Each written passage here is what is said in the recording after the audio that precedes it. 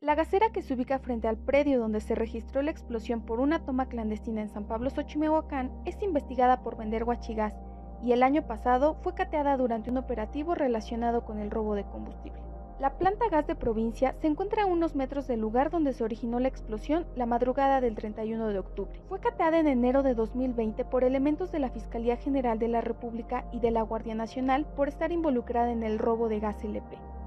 De acuerdo con versiones periodísticas, durante 2019 se encontraron al menos tres tomas clandestinas en inmediaciones de esta gasera, que abastecía a pipas para la venta de gas LP en la ciudad de Puebla. Horas después de la explosión, el gobernador de Puebla, Miguel Barbosa Huerta, informó que el hecho no quedará impune y se investigará a todos los involucrados. Yo puedo afirmar que todos son lo mismo. Enfrente hay una gasera. Enfrente hay una gasera. Todo eso se debe investigar. Este hecho no va a quedar impune. Vamos a ir a fondo, a fondo.